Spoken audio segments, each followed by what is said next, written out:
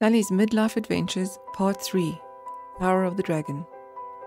Picking up where we left off, Sally is shocked to discover that she seems to have been the dragon who had transformed into a human baby when her Uncle Dan had attempted to slay the dragon all those years ago. Her best friend Emma had thankfully seen the whole hologram, and slowly everything seemed to make sense, although it also didn't make sense at all. Sally, it's okay. We'll face this together, Emma said as she hugged her shocked friend tightly.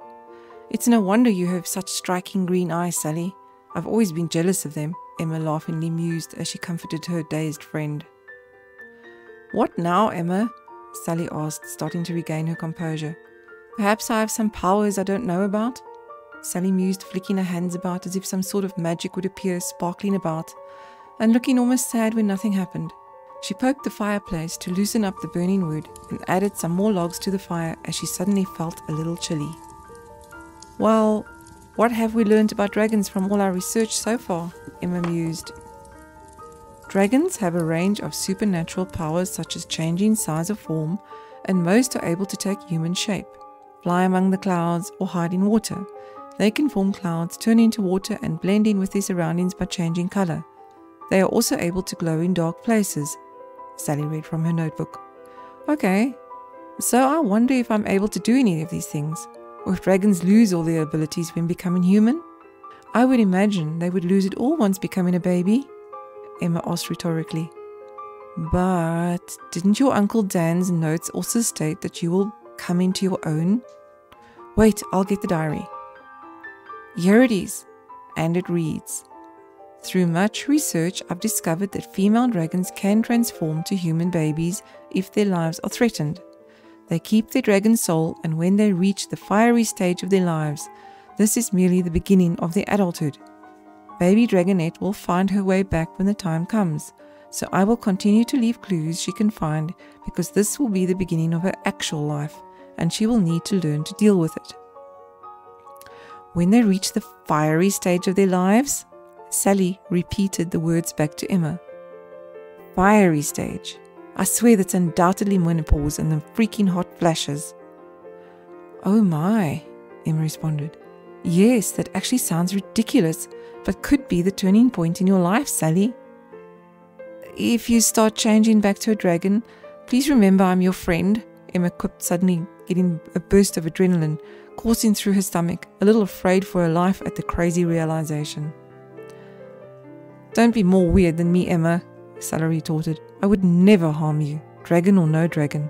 I somehow doubt I'll change into one again. I know I've acted like one sometimes, but no, I'm human to stay, I think. No sooner had Sally uttered the words when suddenly she felt a familiar warmness engulf her body, slowly rising as if she had been lit on fire from the inside. She broke out into a cold sweat all over, feeling hot and cold at the same time. Oh no, Sally mumbled annoyingly, ripping off her jersey. Talk about the devil. Here comes a hot flash now. They're so infuriating. Sally, your eyes, Emma quipped. They're glowing, and so is your emerald pin. Sally felt very strange, but somehow she could see different colors, which she had not seen before. It was as if she could see in the dark corners of the room. Emma, switch the lights off quickly, Sally shouted. Emma complied, as something clearly extraordinary was happening, and they weren't sure how much time they had before it passed. Emma, I can see in the dark. Clearly. This is wonderful. It's like some sort of infrared being emitted by my eyes and their emerald pin. Emma was totally in awe and stood speechless for a few seconds, embracing the strangeness of it all, of what was happening to her best friend, and being able to be a part of it. Sally, I'm going to turn on the lights now, Emma said as she stumbled in the dark and reached for the light switch. Missed, fell and sliced her arm on a bookshelf. Oh darn, I've cut myself open.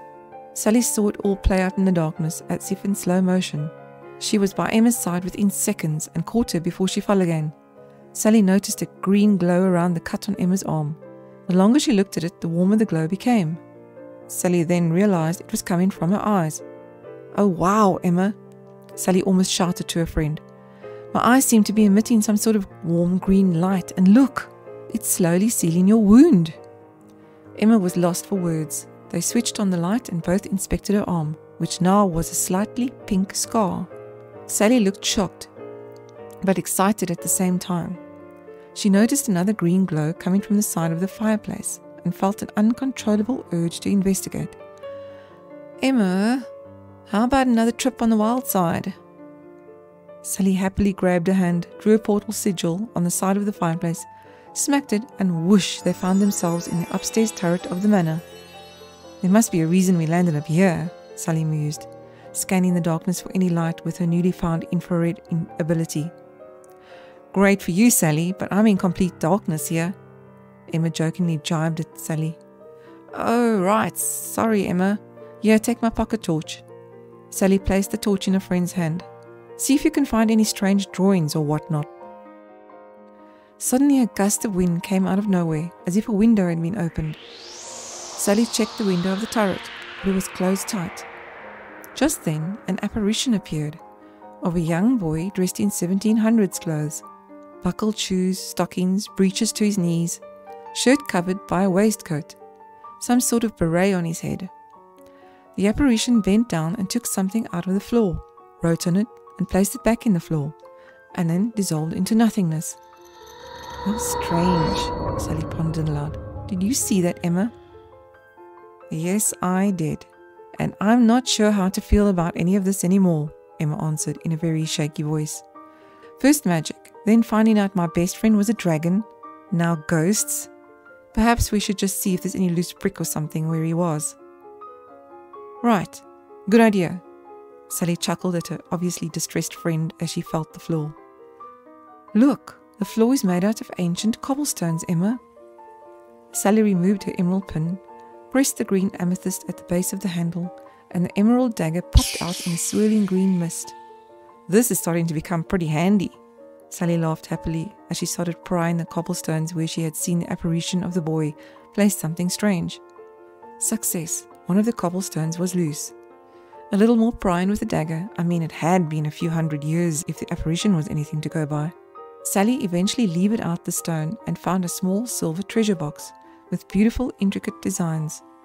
She slowly took it out of the hole, placed it carefully on the ground, and she and Emma inspected it thoroughly. Open it! Open it! Emma exclaimed excitedly. I can't wait to see what's inside. Sally slowly opened the lid with her fingers, ever so gently. It had a beautiful red velvet interior with a silver pen and notebook. But this made no sense at all. If it was from the 1700s, they never had pens, then they had inkwells. This was becoming stranger and stranger. Hardly able to contain their inquisitiveness, Sally picked up the notebook and opened it.